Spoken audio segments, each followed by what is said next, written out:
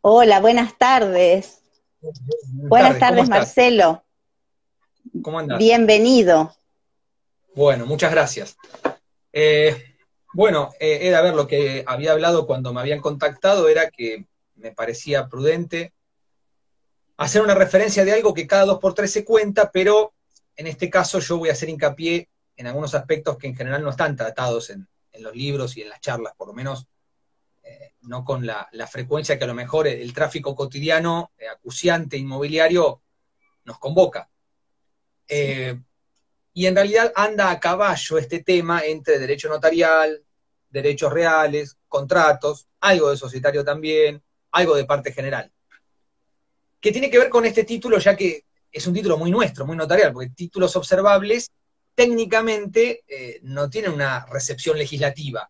Es decir, si uno tuviera que buscar en una norma que me diga título observable igual dos puntos, no lo encuentra. Eso está claro.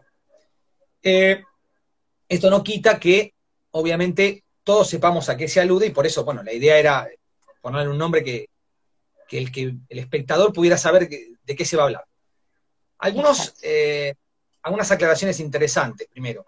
Bueno, bienvenido el recuerdo del Día del Profesor, porque en general a José Manuel Estrada lo tenemos un tanto relegado, ¿eh? murió en 1894, fue rector del, Colegio Nacional de Buenos Aires, profesor de instrucción cívica ahí, es decir, un educador de fuste y en serio, ¿eh? de los que hizo en Argentina, que la verdad que se añora. y sus ideas no fueron muy seguidas, además se animó a, pensar en contra de lo que era la, idea dominante, y parece como invitarnos con ese tema a romper estructuras cuando hablamos nosotros eh, de los títulos observables, porque justamente es un tema que eh, nos acucian en la práctica profesional, pero ya digo, el notariado se ha ocupado de algunos aspectos. Me parece que hay, planos distintos que es bienvenido resaltar. Eh, bueno, me ayuda un poco en esto que el sábado pasado estuvo el amigo y colega Martín Russo hablando de algunos aspectos del género ineficacia. Es un tema inabarcable, claro, da para, para muchísimas charlas. Y bueno, yo lo que voy a hacer es hablar de temas en los cuales esa parte general tiene impacto práctico. Y justamente, bueno, circulación de títulos es el que más nos importa. Así que como yo lo voy a orientar a algo bien práctico, algunas ideas las doy por sentadas, por ahí si hace falta después vuelvo para atrás, pero básicamente esto, aquí, a ver, ¿a qué apunto? Apunto al escribano que está en su escribanía, recibe la escritura y dice, tengo que hacer la venta o la hipoteca o donación y tengo esto y sirve, no sirve, hasta dónde, qué hace, qué no hace. Eh, Gracias. Algunas ideas previas que nos van a ayudar. Y acá sí hago un corte horizontal de las materias, porque esto ya no va a ser tal materia, bolilla tal. No, cambiamos. A ver. Eh, tenemos conceptos ineficacia, inoponibilidad, nulidad. El código los ha tratado como casi todos los temas con una desprolijidad pasmosa. Asistimos mirándolo, intentando hacer algo para solucionarlo en lo que usted pueda, pero bueno, nosotros tenemos que aplicarlo. ¿Qué pasa con esto? A ver, lo que quiero que pensemos es lo siguiente. Para que eh, nosotros hablemos de títulos observables, estamos hablando de un título, por supuesto en el sentido del título suficiente, no confundirlo nunca con el documento, o sea que esto abarcará también supuestos judiciales o supuestos administrativos, lo que ocurre que son tan infrecuentes que me quedo con estos, que son los notariales, y bueno, los temas un poco que, escogí hoy en, casi en una casuística de, relevancia no tienen eh, demasiado trasunto judicial. Pero de alguno de esos también vamos a hablar. Eh, a nosotros lo que nos preocupa es esto. Le vamos a llamar título observable aquel título, digamos aquella causa, si quieren, para no meter suficiente, justo título, porque es parte de lo que vamos a hablar hoy, aquella causa de adquisición que pueda hacer que su adquirente pierda todo o parte de ese derecho que tiene esto lo va a ser observable. O sea, si nosotros, a raíz de una causa que podíamos llegar a haber detectado, mm, autorizamos un acto que ocasione que el adquirente se encuentre con la posibilidad de perder su derecho, bueno, generamos un título observable. Por eso, lo que vamos a ver es cuáles son los títulos observables que puede traer el que vende. Porque algunos de los problemas que trae el que vende, o que dona, bueno, ni hablar si dona peor, pero el que transmite alguno de los problemas se los comunica al que adquiere. Entonces lo que vamos a tratar es de ver en qué casos el problema que trae el anterior se lo comunica al que adquiere y en qué casos no se los trae. O en qué casos siquiera no hay problema. que sería lo mejor. Pero también vamos a hablar de otros casos que, en los que por ahí el que adquiere no va a perder su derecho, pero puede llegar a tener que pagar indemnización, plata. Ahí también nos preocupa. Porque claro, si se quiere es una preocupación de un grado menor, pero no, no deja de serlo, una preocupación. A ver, si el que compra dice escribano, yo pago 100 por un inmueble que para mí vale 100. Si a mí me sacan un inmueble de 100, yo termino perdiendo, porque perdí los 100 que entregué y los 100 que me dieron.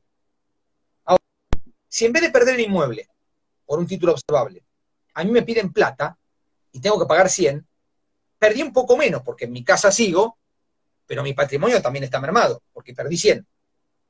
Eso es lo que, para ponernos un poco de acuerdo con los términos, sería el efecto restitutorio y el efecto indemnitorio. El efecto restitutorio cuando yo tengo que devolver el inmueble adquirido. Y el efecto es indemnizatorio cuando yo tengo que devolver plata, pero no el inmueble adquirido.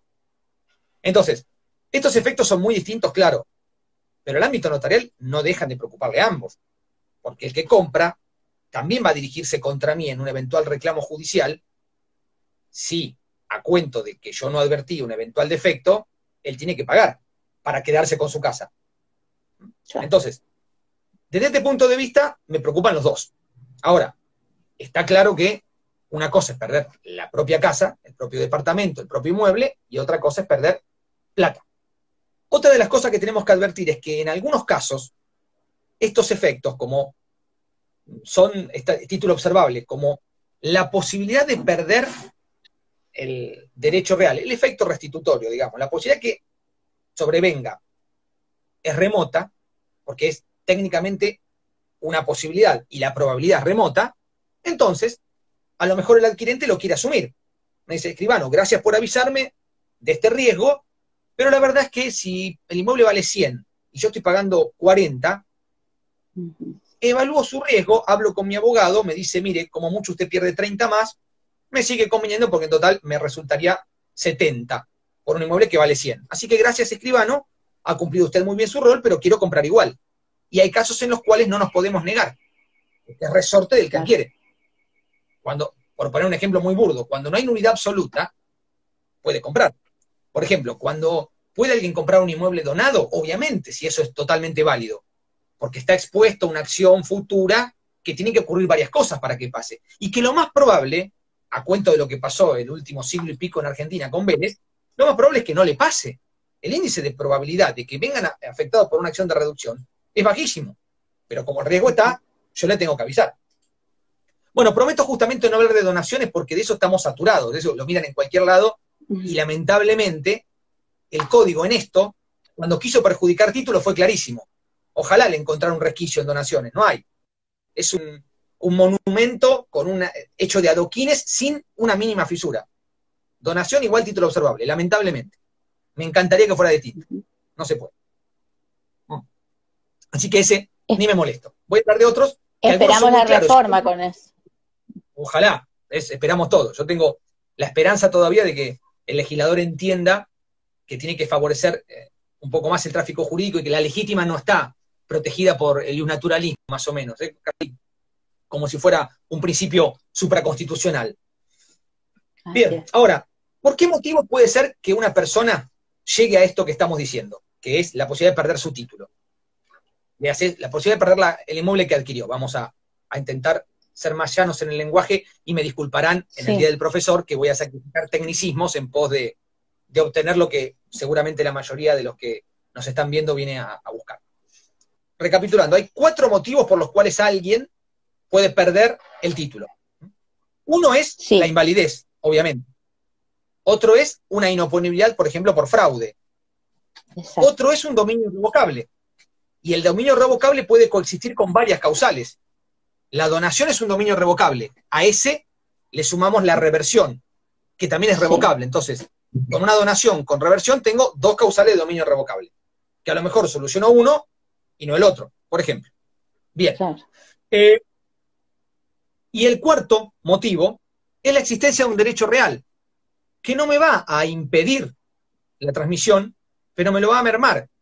por ejemplo, si existiera un usufructo o una hipoteca, que por algún motivo no haya sido dado a conocer al momento de la transmisión, y por las distintas modalidades de oponibilidad le pueda ser oponible al adquirente, resulta que el adquirente adquirió el dominio, pero tiene que soportar un uso, una habitación, una, una hipoteca. O sea que tiene un dominio recortado, se llama desmembrado, adquirió un poco menos.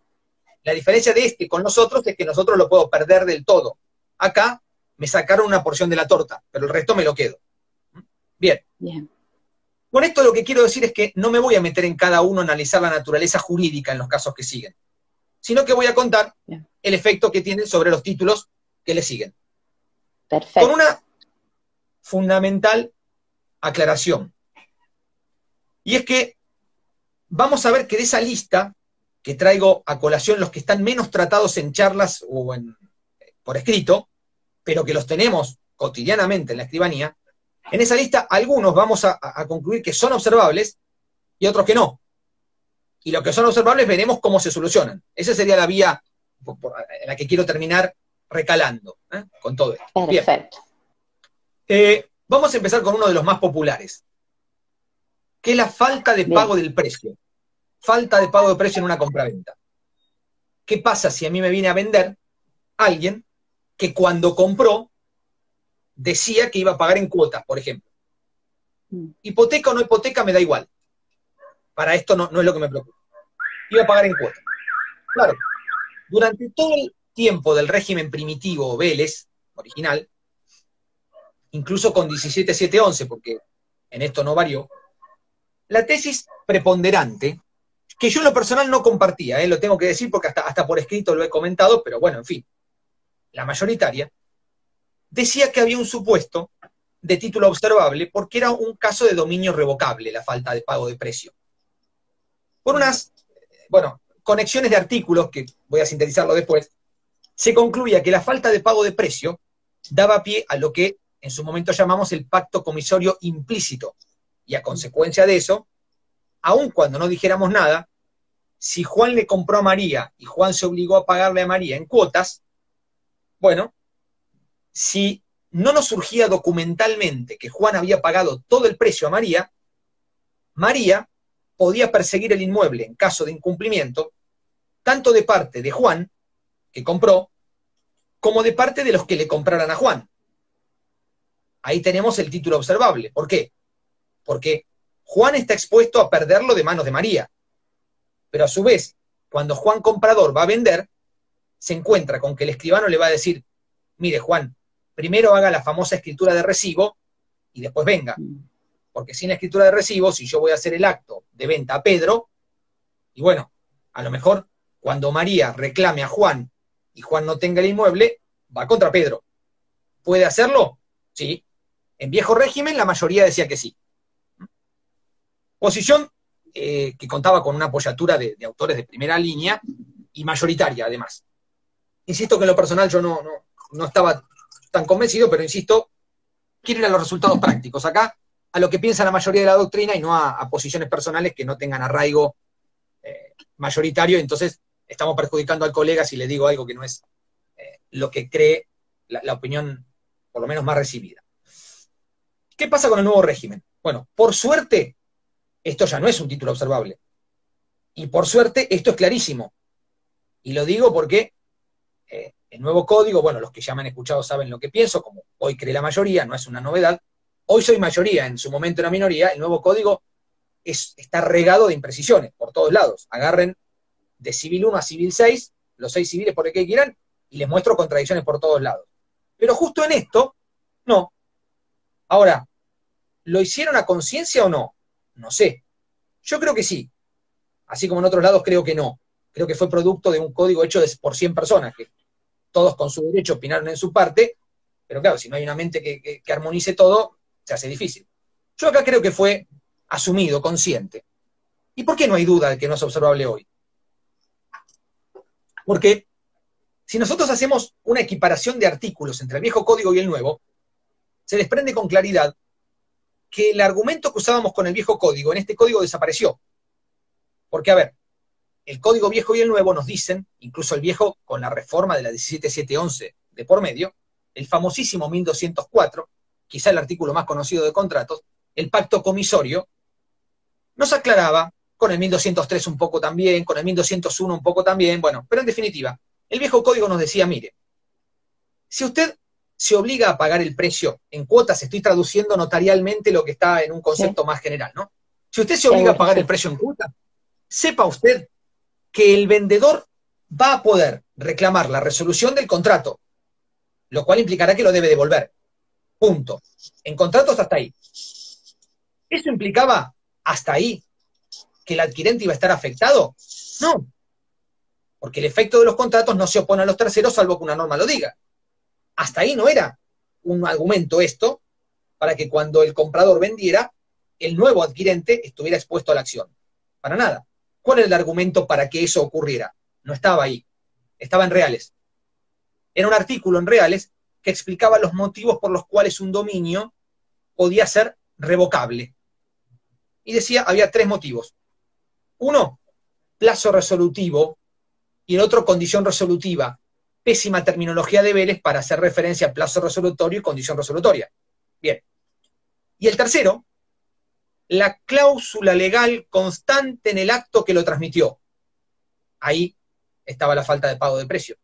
Cláusula legal, o sea, una cláusula implícita, eso era legal, no requería que lo pactáramos.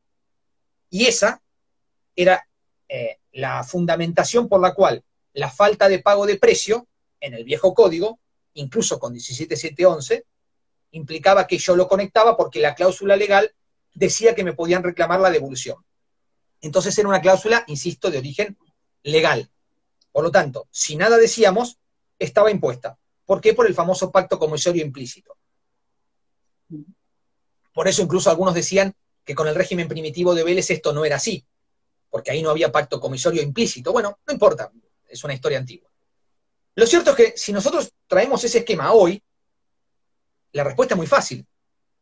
Ese argumento desapareció. Porque la resolución sigue, eh, perdón, el incumplimiento al pago sigue teniendo efectos resolutorios, claro, obviamente. ¿Y la resolución puede afectar a terceros? Sí, el 1079 aclara, salvo el inciso B, salvo que sean terceros de buena fe y a título oneroso. Ah, bueno, pero no hay buena fe porque lo conoce. No, momento, que en real es prima otra norma, porque esa es genérica. No nos olvidemos que eso es para cualquier contraprestación, para el contrato de agencia, para el contrato de eh, suministro, para el contrato, este, los negocios en participación y para compraventa. Ahora, en compraventa, cuando yo quiero salir de Juan le vende a María y me quiero ir al que le compra, al comprador, ahí se complica. Porque el artículo que habla de cuáles son los supuestos de dominio revocable me enumera solamente dos pausales, no tres. ¿Cuál me enumera? plazo resolutorio y condición resolutoria, 1964. Lo que no me enumera es cláusula legal constante en el acto que lo transmitió. No la enumera.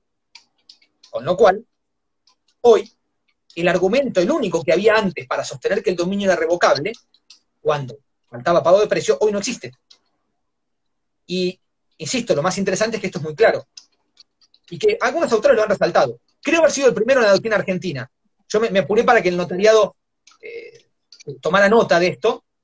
En el 2016, en abril, menos de un año de vigencia del código, yo lo publiqué en una nota, eh, y no, ha sido rebatida, por lo menos por escrito, en los ámbitos académicos este, conocidos, porque creo que es de evidencia. Lo que ocurre es que el notariado es el primero que tiene que salir a advertirlo, porque esto hace la circulación del título. En consecuencia, la falta de pago de precio de una compraventa otorgada después del 1 de agosto de 2015, no hay ninguna duda que no hace observable al título.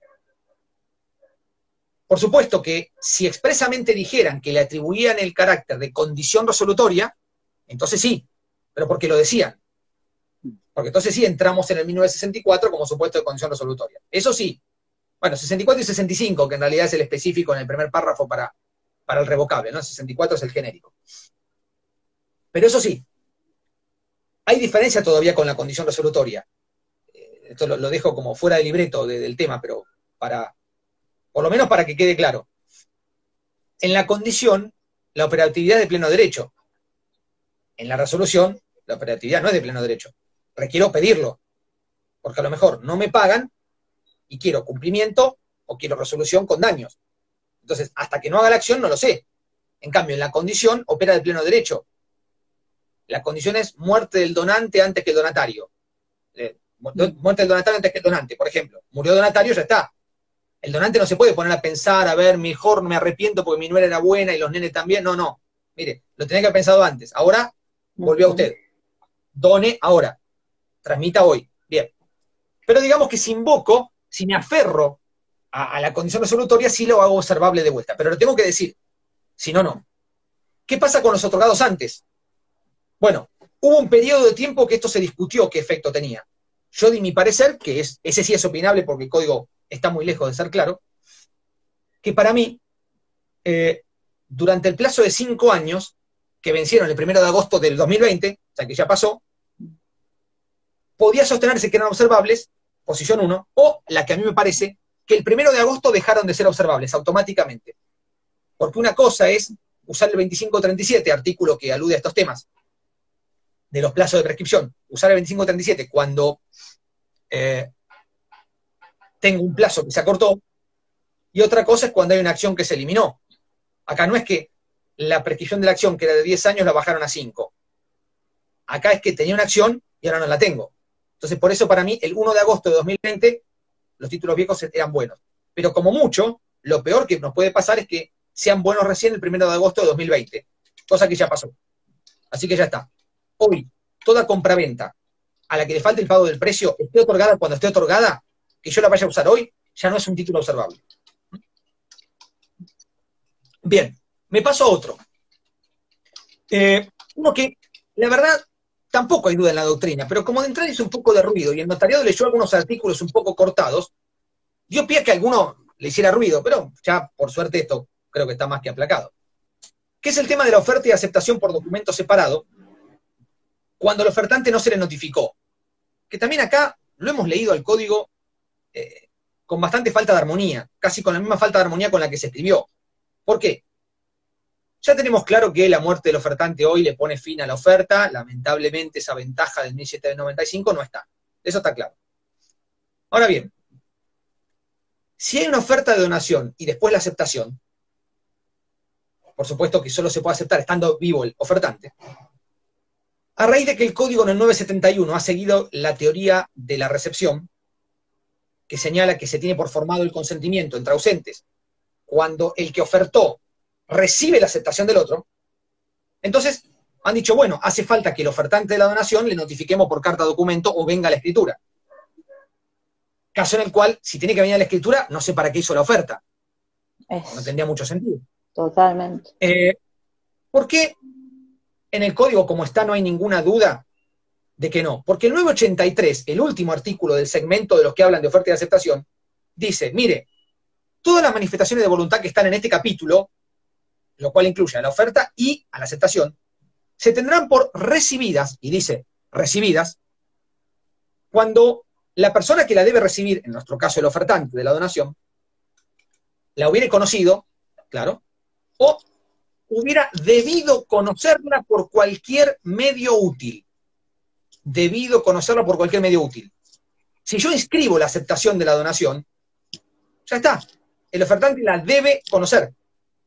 Porque además usaron la misma expresión, ¿eh?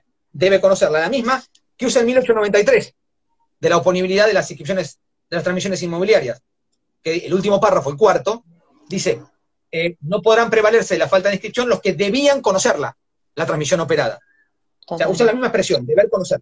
Entonces, a ver, sería ridículo que el planeta Tierra, que tiene 7 mil millones de habitantes, no requiera de la notificación de la inscripción para hacerlo ponible a ninguno que no tenga interés legítimo, salvo para el ofertante. O sea, yo lo inscribo y lo hago ponible a todo el mundo, menos al ofertante. Ridículo. Sería, como lo dije alguna vez así, sería la inoponibilidad de lo inscripto. En vez de la oponibilidad de lo no inscripto, que es lo que siempre discutimos, esto sería la inoponibilidad de lo que está inscripto. Por suerte, las jornadas nacionales, nacionales no, las jornadas notariales bonaerenses 2015, eh, que fueron las primeras que se hicieron con el nuevo código en noviembre, las primeras de nuestra provincia, en noviembre de 2015, por unanimidad resolvieron esto mismo, con estos mismos argumentos. Perfecto. No hace falta tener ofertante. Bien. Perfecto, qué bien que aclarás esto, Marcelo, porque sabés que, viste que hay dudas eh, entre los colegas. Y yo pensaba exactamente, digo, ¿con qué necesidad tiene que volver el donante? No hubiera hecho la oferta. O sea, si tiene que volver al día que va a aceptar, no, o sea, no, es sentido común. Así es que perfectamente que lo hayas, lo hayas traído a esta charla. Y, es muy relevante que lo digan las jornadas, eh, porque claro, digamos, en charlas o en un comentario aparte, bueno, pero hay que discutir en esos lugares y dar los argumentos. Por suerte en el código están claros, así que nos podemos quedar más que tranquilos en eso. Perfecto. Eh, luego, vamos a otro supuesto que es la falta de asentimiento. Bueno, hay, una, hay una pregunta ahí. Va a venir bárbaro. Ah, bueno, genial. A ver, tiré dos buenas, que eran, dije, dos que no eran observables. Ahora tiro uno que sí. Vamos a matizarlo, vamos a poner la balanza. ¿Por qué? Y porque en este código la falta de asentimiento, a ver, hago una aclaración. Yo no voy a hablar de cuándo hace falta el asentimiento, porque de eso ya tienen, me imagino, las charlas las deben pesar, no contar, debe ser una, una cantidad descomunal, saturan.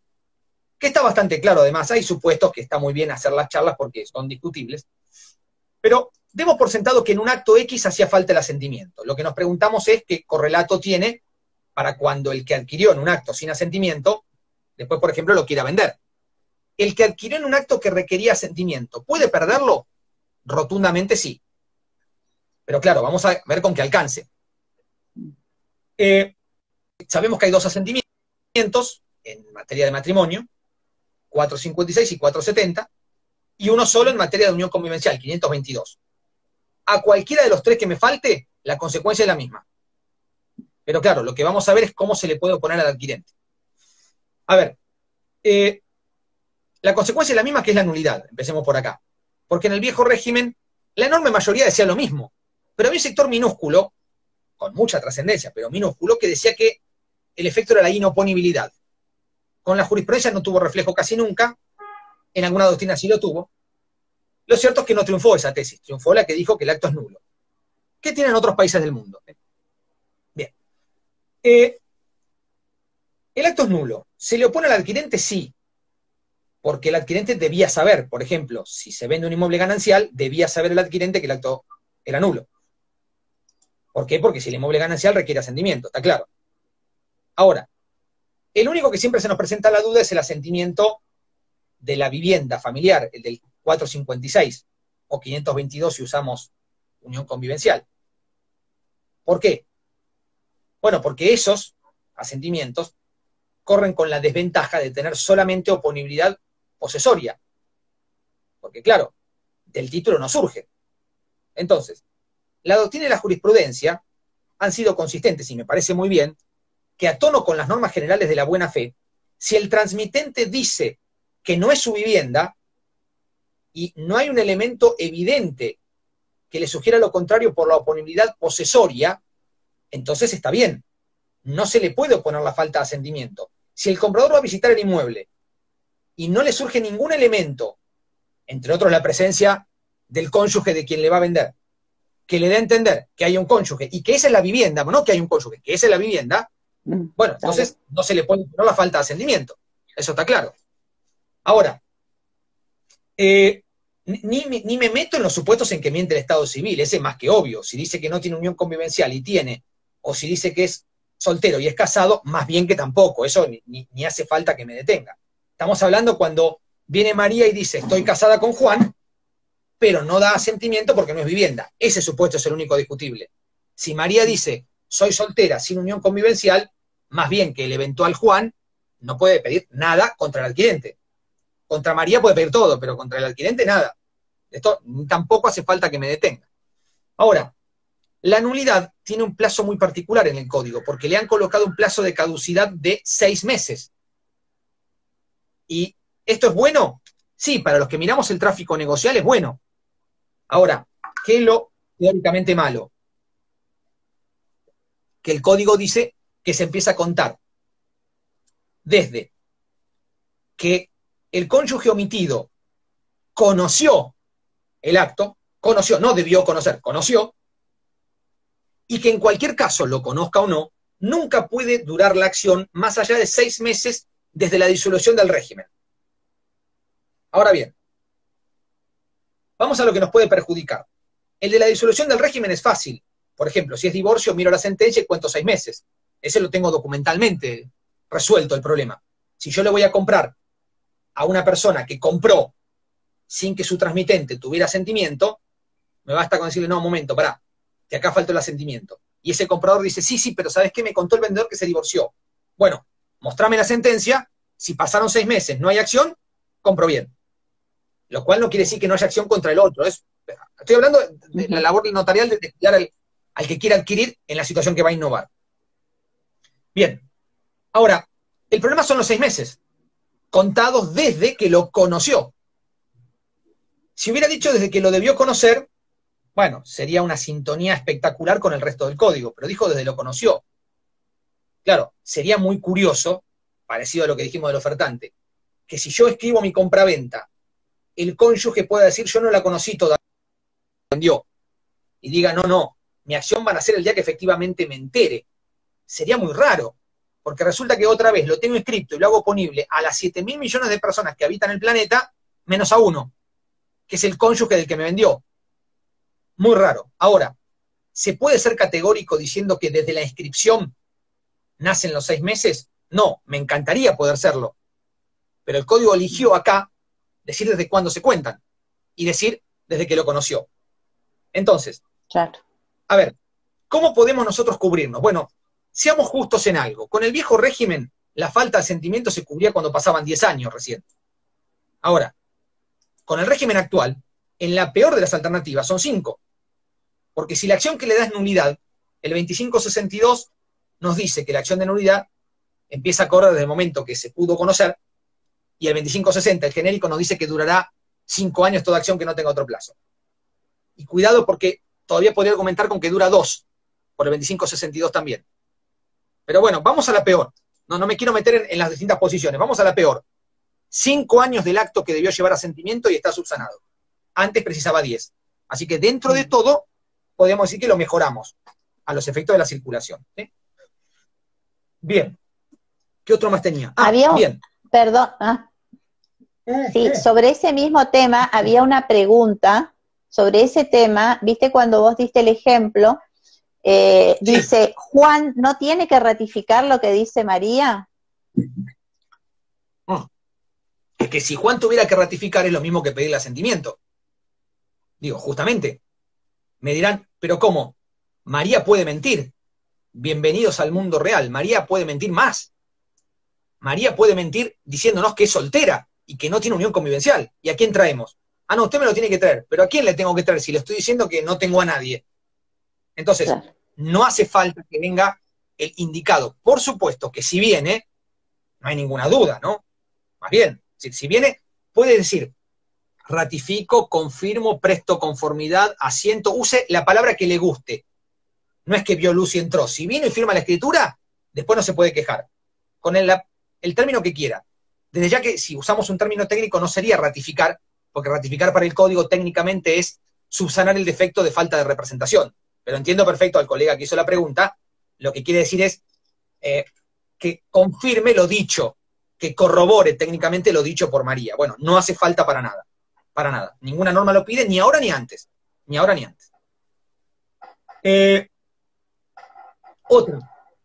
Eh, el 2461, artículo que cada dos por tres hace ruido. Viejo 3604. Lo nombro este con número y voy a explicar el concepto, porque muchos lo, tenemos por el número. Eh, tenemos claro que el código antes y ahora, antes con una redacción mala y hoy con una redacción pésima e impresentable, increíblemente pudieron empeorar la redacción de Vélez, nadie sabe cómo, el código tiene previsto que cuando una persona vende y se reserva usufructo, uso, habitación o renta vitalicia, se presume que ese acto fue gratuito. La redacción del artículo deja que desear porque tiene contradicciones a cada rato. No me quiero meter en eso, que es un tema muy interesante, pero que sería un tema para una charla sola, no, no, no para, para un capítulo, digamos, de una charla. Voy bien de tiempo, ¿no? Estoy mirando cada rato, sí, bien. Eh, la pregunta es esta. ¿Esta presunción de gratuidad a los efectos de esa colación implica que el acto lo tenemos por donación a los efectos de la observabilidad o no? Eso es lo que más nos preocupa. Porque si nosotros asesoramos a los requirentes y lo quieren hacer, le digo, señor, tenga en cuenta que esto implicará que Juancito, su hijo al que le vendió con reserva, se va a suponer por sus hermanos que usted le donó, con algunas consecuencias importantes, salvo que usted haga lo que el artículo permite para que no se presuma eso. Ahora, más allá de todo esto, la pregunta es, ¿podemos considerar que cuando Juan va a vender es observable? Y acá, por más que a alguno lo, se le pueda ocurrir discutirlo, para mí la respuesta es categórica, no es observable.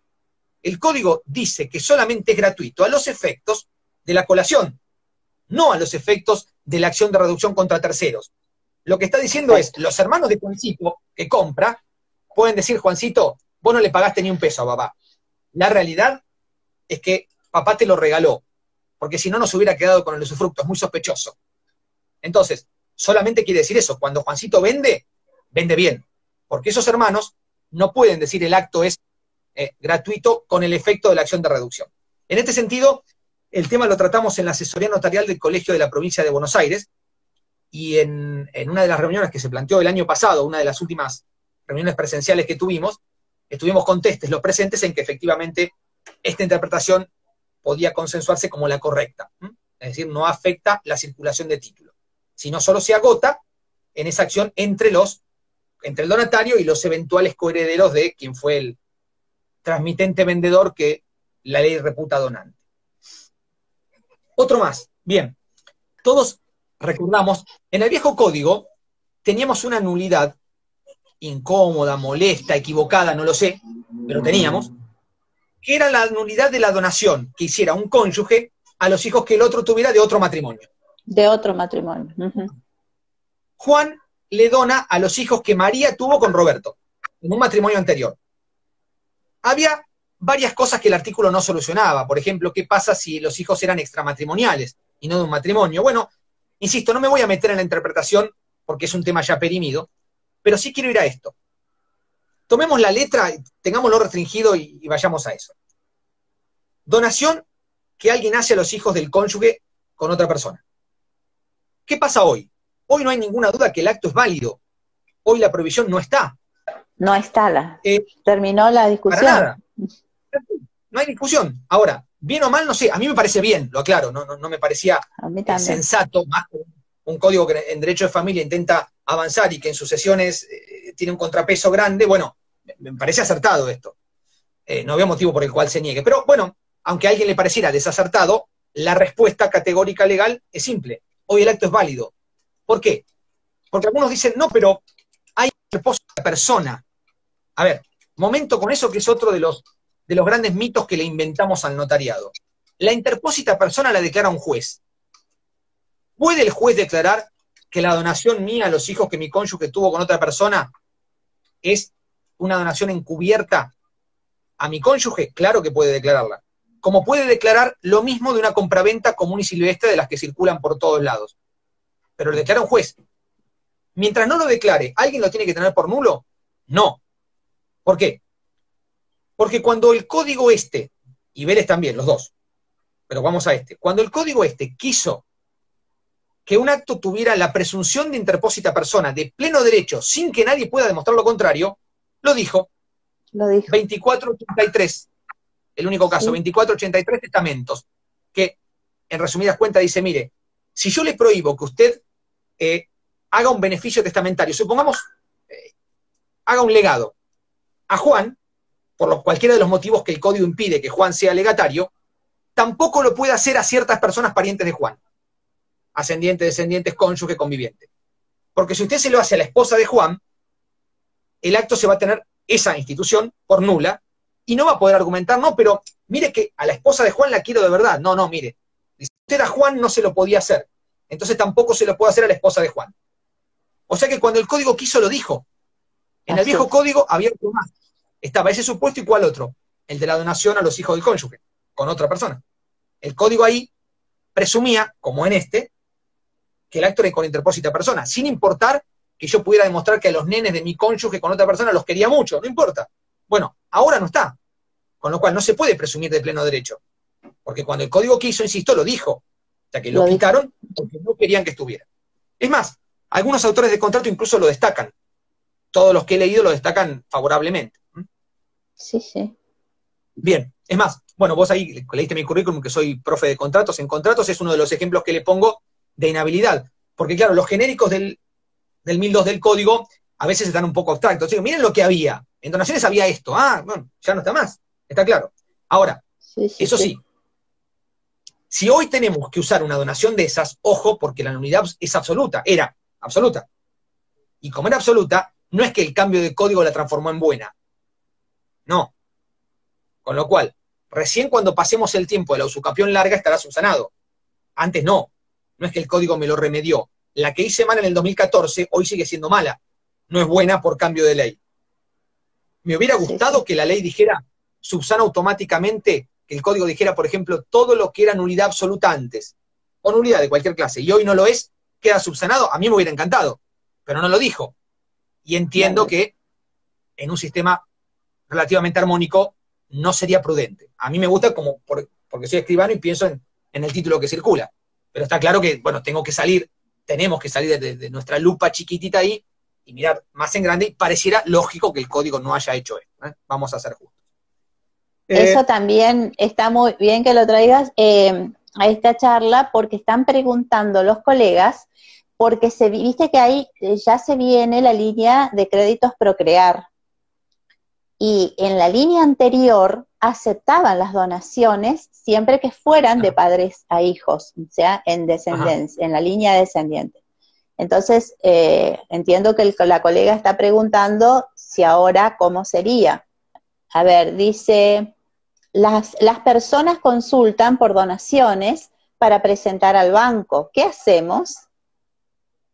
Bueno, a ver, lo pongo al revés. ¿Qué hacer? ¿Es válido un título proveniente de donación? Obviamente. ¿Está expuesto eh, quien adquiere un derecho a ser revocado? Obviamente. Si yo tuviera que prestar plata, ¿le prestaría? Y más bien que no, lamentablemente no. Claro, algunos dicen, pero entonces queda fuera, fuera de tráfico. Ah, bienvenido, claro, eso es lo que venimos diciendo algunos hace ocho años. Yo cuando esto era un proyecto en el 2012, les tiré con bazooka, cascotes, adoquín y lo que encontré, como medio mundo también, no, no que fui yo solo, ni mucho menos. Ahora, la dejamos pasar, hicimos fuerza y no salió, no lo sé. Pero peor no nos podía venir donaciones. Observables todas. Eh, no tenemos manera de subsanarlo más que dejar el paso del tiempo, que son cinco años de la muerte o diez de la donación. Ahora, si queremos, no sé, ser esperanzadores, miremosle el vaso medio lleno. Dos cosas buenas. Una, hoy no hay duda de cómo es. Lamentablemente, para mal. Pero bueno, antes había dos, por lo menos tres posiciones.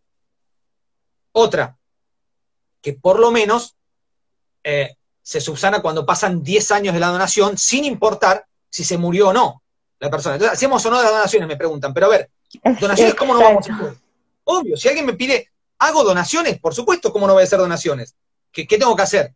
Le aclaro al donatario, mire, bueno, y al donante, la consecuencia que tiene hacer una donación es esta, obvio, pero ¿cómo no voy a hacer donaciones? Yo hice donaciones con el nuevo código, más bien.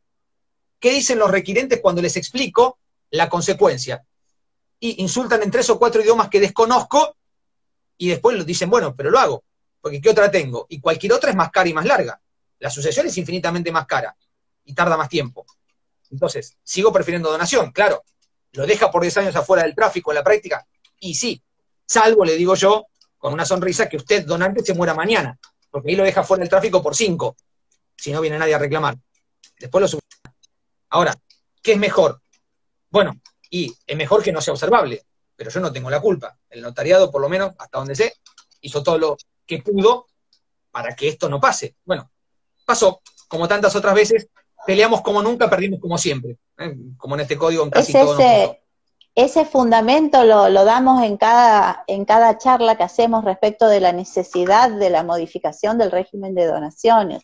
El escribano José María Lorenzo hasta el cansancio también lo ha dicho en todas las, las, capacitaciones que hemos tenido y en todos los encuentros interdisciplinarios justamente explicando esta situación, que ah. es una realidad de las personas que justamente, ¿cuál es la voluntad de los padres? Te dono el inmueble para que puedas construir tu casa. Y salió la línea Procrear, bueno, tengo esta posibilidad y estamos en esta situación, así es que amerita con urgencia una modificación. Comparto, esto hay gente que lo dice hace ocho años, 2012, cuando se conoció el proyecto, lo decíamos. ¿Qué pasó? Nada. Proyecto que llega, cae, uno que se reúne. Bueno, ojalá les deseo a cualquiera de los que estén en el ámbito que tenga éxito, eh, más allá de que si me gusta este proyecto o este otro, cualquiera que logre hacer algo para que la donación no sea un título horrible, como termina lamentablemente siendo por esta tesitura, bienvenido sea. Insisto, el vaso medio lleno es que hoy, en 10 años, si nadie viene a hacer una acción, se subsana con vida o sin vida del donante. Ojo con eso que algunos quisieron meter.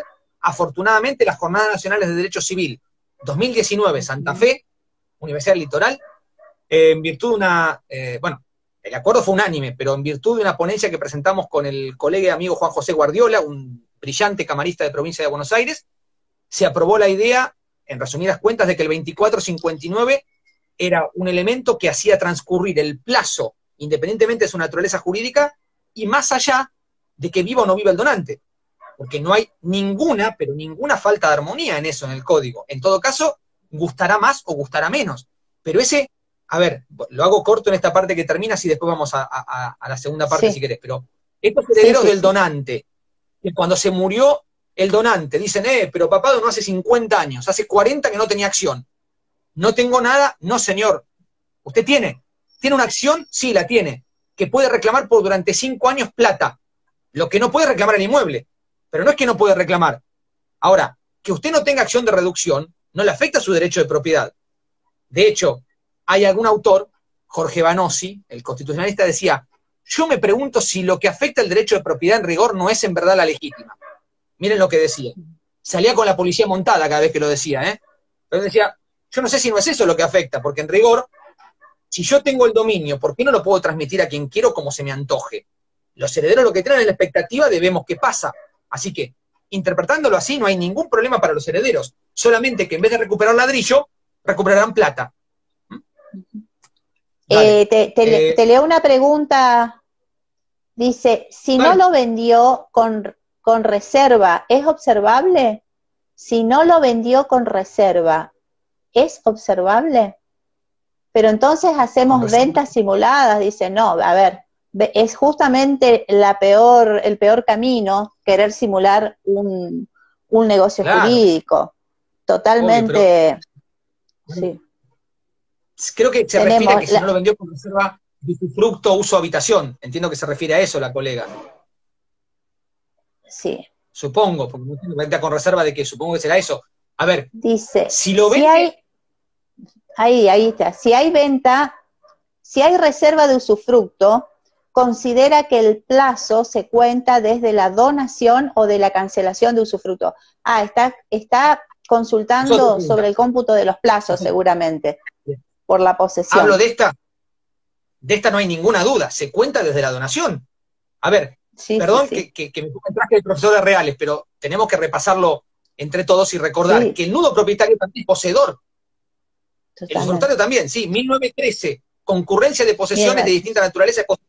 Yo le dono a Juan y me reservo usufructo, yo, usufructuario, soy poseedor, y Juan donatario también. Con lo cual ya empezaron los 10 años desde ahí. No hay ninguna, pero ninguna duda. ¿eh? Así es, ninguna duda es desde el contrato de, donación. Eh, bueno, otro más era que a veces surge la duda, por suerte este no es observable tampoco ni ahora y nunca, dimensión en la de la tradición, del cumplimiento de la tradición. Otro más que tiene sus, mitos por ahí. Eso sí. Por suerte lo mismo. Eh, ¿Qué eh, inconvenientes trae? Ninguno. ¿Por qué? El derecho real se transmite con título y modo. Pensemos en el dominio, propiedad horizontal, los más comunes. Eh, ahora, el código viejo decía, algo repite con el lenguaje en este código que le gustó a la... Dice, mire, la declaración sobre el cumplimiento del modo no tienen ningún efecto frente a los terceros. Entonces, si en la escritura decía que la tradición se hizo, o que se hace ahora, o que se va a hacer, tiene efecto exclusivamente entre Juan y María. Juan le vende a María. Solo entre ellos dos. Ahora, eso no tiene efecto frente a terceros y para el contrato 1021, 1022, 1023 del código, terceros son los que le compran a María. Entonces, el que le compra a María, que en el título de María diga que a María le entregaron o que no diga nada, no le cambia. Porque el que le compra a María, ¿qué tiene que hacer? Diga lo que diga la escritura de María, tiene que ir a ver el inmueble. Él necesita ir a ver que el inmueble esté libre de todo contradictor. 1926, posesión vacua, libre de todo contradictor. Pero eso lo tiene que hacer el comprador. Diga lo que diga el título de María. El título de María dice que le entregaron el tiene que esté María en posesión.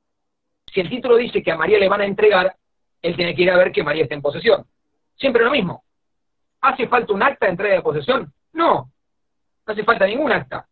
Lo que tiene que hacer el comprador es verificar que esté María para que cuando compre María le entregue la posesión.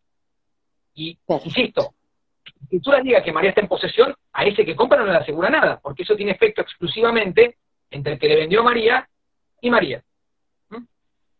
Y otro más, que también hizo mucho ruido y que el código solucionó, a mi modo de ver, mal, pero también al modo de ver de la mayoría, muy claramente, es la falta de firma en una escritura, que esa es otra que aparece de vez en cuando. A ver, para hacerlo corto, con el viejo código, cuando faltaba una firma de una escritura, si el acto estaba junto con otros, había una posición que decía que había un acto que subsistía y otro que no. Digo, si es una compraventa, un vendedor, un comprador y falta una firma, cae todo, está bien, eso no hace falta que lo aclare.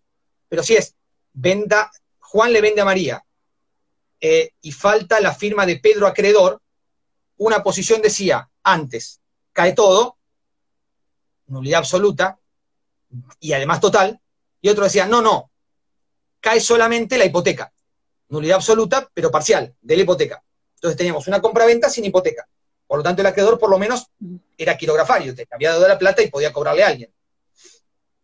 Ahora bien, eh, si vamos al nuevo código, el viejo código todo giraba alrededor de un artículo que era el 988. Y ahí, a su alrededor, la doctrina notarialista mayoritaria de los últimos 30 años se inclinaba por entender en el Código de Vélez que la nulidad era parcial. Incluso en la Academia Nacional del Notariado, en el 2004 hubo una eh, muy nutrida eh, intercambio, muy nutrido intercambio de ideas, y la mayoría se inclinó también, una leve mayoría, por la nulidad parcial. Ahora bien, nuevo código le puso fin, pero en el sentido contrario. El 290, inciso B, nos deja en claro que si falta una firma, cae el acto para todos y caen todos los actos. Y en este sentido se pronunciaron las Jornadas Nacionales de Derecho Civil de 2017 en La Plata.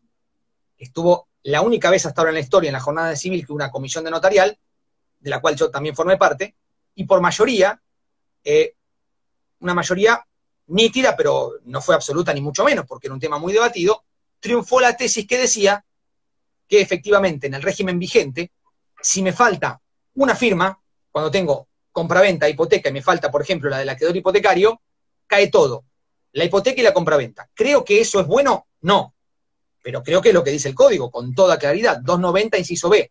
Lamento que no hayamos podido en el notariado decir la otra tesis para quienes creen que la otra tesis es buena, porque hay autores que creen que no. Bueno, en fin, pero hablo de lo que hay. Hoy eso cae. Y lamentablemente el código no deja pie a dudas. Por lo tanto, ya sabemos las alternativas, reconstrucción del acto, un juicio de su capión por el adquirente, que seguramente no será conveniente, pero bueno, también termina siendo una solución. ¿De claro, buscándole ese tipo de solución, exactamente. Tenemos una consulta que dice, eh, mi consulta es, ¿debo formalizar una venta cuyo antecedente es el título del año 1968, donde una madre compró para su hija?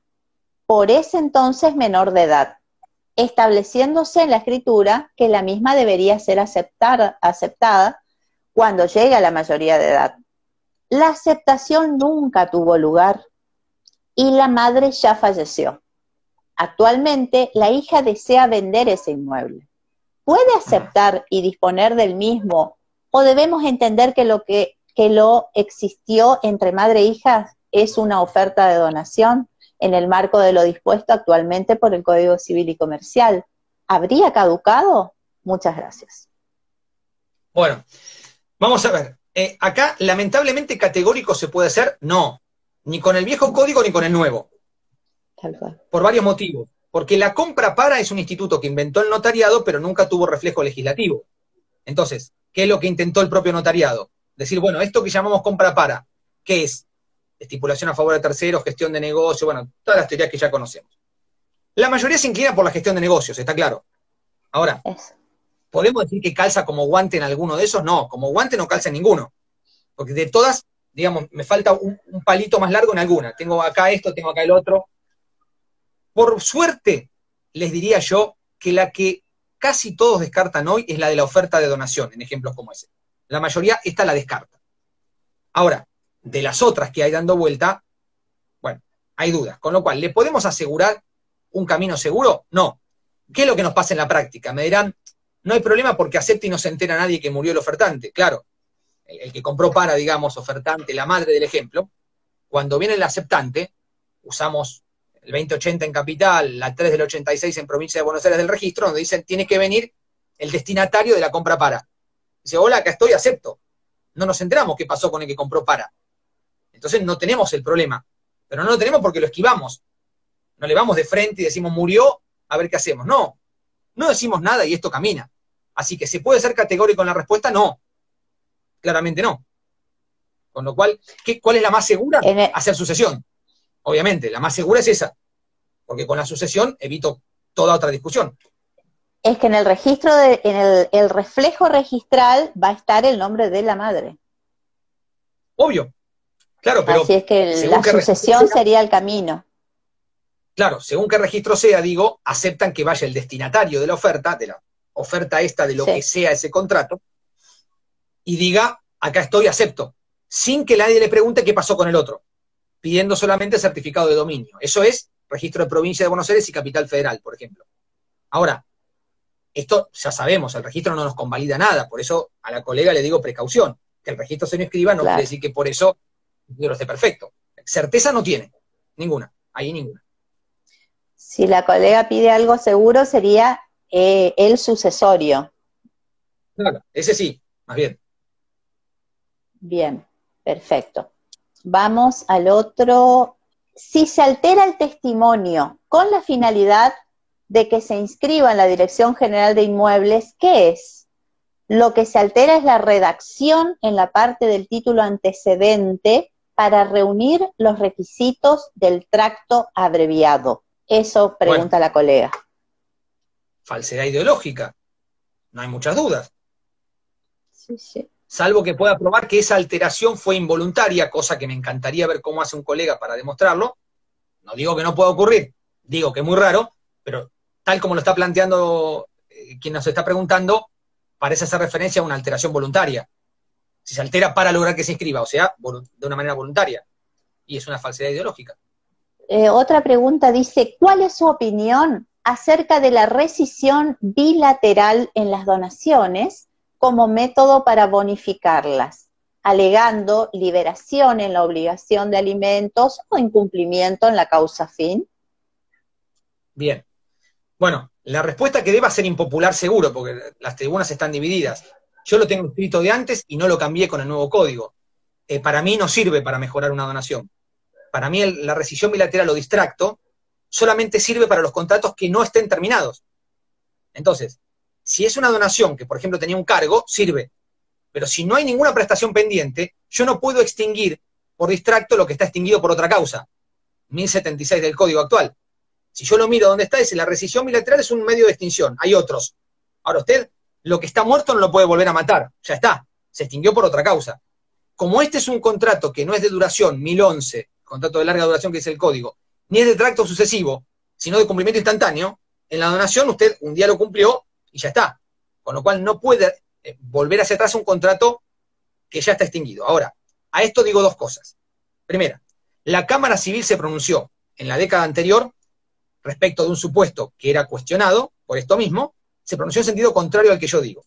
No me acuerdo qué sala fue, de la capital, eh, y se pronunció diciendo que efectivamente el distracto era un elemento que podía bonificar. Nobleza obliga, hay que decirlo, primero. Segundo, eh, ni más ni menos que Augusto César Belucio estaba de acuerdo con esta teoría, con viejo código. Con el nuevo no lo he, no he leído nada que se haya pronunciado, pero estimo que no habrá cambiado. Pero se suman a los que creen con como esto que acabo de decir, de que el distracto no se puede utilizar cuando ya está extinguido, la voz de Julio César Rivera, que con el nuevo código ha escrito diciendo no se puede extinguir por extracto un contrato extinguido por otra causa. Entonces, claramente en un contrato con prestaciones cumplidas no puede haber extracto.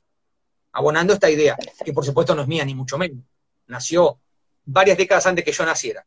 Pero bueno, ahí están enfrentados, con lo cual yo le doy mi parecer. Para mí, para los que piensan así, usted lo que está haciendo es perjudicarlo, es una nueva donación. Para los que piensan lo otro, lo está beneficiando. ¿Cuál es la mejor solución? La que le gusta al que compra. Usted le explica al que compra, tiene esto y esto. La que quiera yo se la hago, yo se la hago, ¿eh? Pero me firma la famosa minuta insistida. Que técnicamente la escritura es insistida, la minuta. Bueno, pero me firma un formulario y me dice, el escribano urbaneja me advirtió, tengo A y B, con distintas consecuencias según la tesis que se siga. Me gusta B. Ningún problema, yo se la hago. Sin ningún problema. Bien. Próxima consulta. En una donación anterior al Código Civil y Comercial de la Nación, ¿cómo se cuentan los 10 años de la posesión y del donante? ¿Los 5 años del fallecimiento para considerar saneada la donación? Bueno, me, obligan a hablar de donaciones, que había dicho que ya estaba retrillado. A ver, sí. hoy, ¿cómo solucionamos, ¿cómo solucionamos hoy las donaciones viejas? Hay tres tesis, así que mire si tendrá para todo lo que le gusta. Tiene, la hago absolutamente corta. Y no voy a poner los argumentos, simplemente las expongo y sepan que están las tres. ¿Con esto qué quiero decir? Que certeza en la respuesta a esta pregunta no la tiene de ninguna manera. ¿Me gusta que sea así el código? No. Creo que tenía razón Graciela Medina, que dijo, hay que, tendría que haber venido una eh, respuesta, ahora leo lo que me están preguntando, tendría que haber venido una norma de derecho transitorio, ¿sí? Esperen que leo esto. Ahora, ahora contesto esta. Vamos a lo que... Perfecto. Donación. Digo, Tres tesis. Una, tengo que usar el nuevo código para juzgar la vieja donación. Con lo cual, le pongo los cinco años de la muerte o los diez de la donación. Otros, tengo que, tengo que usar el viejo código, con lo cual le pongo 10 años desde la muerte o 20 desde la donación. Que 20 de la donación es lo que pensaba la mayoría. Otra, depende, dice. Si el causante se murió con viejo código, usa el viejo. Si el causante se murió con el nuevo código, usa el nuevo. Tiene las tres teorías. Pero algo sí le puedo hacer corto. ¿Cómo hacemos nosotros con estas teorías dando vuelta para estar seguros de cuándo una donación vieja, o sea, el viejo código, está subsanada? Bueno, les hago un resultado fácil. El primero de agosto de 2025, si no cambian las normas, por supuesto, dentro de cinco años, primero de agosto de 2025, todas las donaciones hechas con código de Vélez quedan subsanadas. Porque cualquiera de las tres tesis que use va a desembocar en que el 1 de agosto de 2025 están subsanadas. Para algunas ya están subsanadas ahora, para otros, pero ya digo, después del 1 de agosto de 2025, con las tesis que hay hoy, ninguna me dice que la donación sea observable. Así que, ¿qué, certeza tiene? Paciencia. Espere cuatro años y puchitos, y el 1 de agosto de 2020, 25, está subsanada cualquier donación anterior. Vive el donante, no viva, se murió hace 10 años, 25, 42 o 5 minutos. Sin importar. Bien, perfecto. Esto que me preguntan. Si la escritura de más de 30 años protocolización en vez de escritura judicial. Bueno, no hay título. Protocolizar en vez de transmitir es que no hay título, con lo cual esto es decirme hace 30 años no hubo título. O sea que me tengo que remontar a lo anterior. Si la escritura posterior a esa tiene más de 20 años, obviamente está subsanado. Si no lo tiene, no está subsanado. Lamentablemente así de simple. Bien. ¿Qué opina del contrato de donación con poder irrevocable para transferir el dominio? Mm. yo lo, he dicho por escrito, he leído las opiniones al respecto, no las comparto para nada. Creo que es imposible en la legislación argentina por distintos motivos, que para exponerlos todos me encantaría, pero se requieren dos charlas como las que tuvimos. Pero sintéticamente, de, de, donaciones y de poder especial irrevocable, no cambió nada, salvo en donaciones que ahora son más feas que antes, digamos, para una tesis. Lo demás sigue igual. Entonces, más allá de que el artículo va, que el artículo viene, la donación siempre fue un contrato consensual toda la vida, antes y ahora. Con lo cual yo carezco del preliminar de donación, antes y ahora. Exacto. O sea que como no hay un preliminar, yo no puedo tener un negocio base para apoyar un poder especial irrevocable. En consecuencia, como no lo tengo, no lo puedo usar como poder especial irrevocable. ¿Qué pasa si lo hago? Es un poder común. Punto. Totalmente. Necesito de la oferta y aceptación para que nazca la donación, si no, no hay donación, con lo cual no voy a tener. Y además, no, existe posibilidad. que no tenga no existe posibilidad que no haya transmisión de dominio. Es ir al sistema alemán del auto abstracto, que el sistema nuestro no lo permite. La causa está íncita del contrato. No podemos elegir no tenerlo, no podemos. No podemos. La compraventa implica el título suficiente para transmitir el dominio. Si no hago como boleto y lo digo. Si no, implica esto. No puedo decir que no implica. No puedo. En Argentina no puedo. Bien. Y la otra pregunta era que, ¿y si falta la firma del escribano? Uy, uy, uy. En una escritura. Peor. O es nulidad. Totalmente. Nula. O inexistencia. Según la tesis que le guste, digamos, elijan la que les guste, pero es nulidad o inexistencia. En cualquier caso, siempre en broma cuando explico notarial digo, toda escritura a la que la califiquemos con un in está mal. Ineficaz, inhábil, eh, inválida, no, inoponible, es fea. Entonces, acá, claramente, eh, ahora voy a esto que me preguntan, ya lo contesté, pero no hay problema, lo contesto de vuelta. Eh, cuando hay una escritura sin firma del escribano, es nula o inexistente, con lo cual, solución, reproducción del acto, salvo para los que dicen que la nulidad es relativa y que la expedición del testimonio implicó la confirmación, cosa que no creo y sugiero no seguir para nada porque no es una tesis que tenga demasiados acólitos y eso meterá un riesgo muy grande. Conclusión, ese título no lo puedo utilizar. ¿Venta de padre hijo es observable? Claramente no. La venta de padre hijo no es observable nunca. Si no es observable con reserva, porque dijimos que el título circula igual, menos va a ser observable si no la tengo. Claramente no. Así es. Nunca venta de padre a hijo, para nada. Así es. Bien. Te agradezco infinitamente. Muchísimas gracias por todo. Gracias. Chao, hasta luego. Chao, que sigas disfrutando del día. Gracias, igualmente.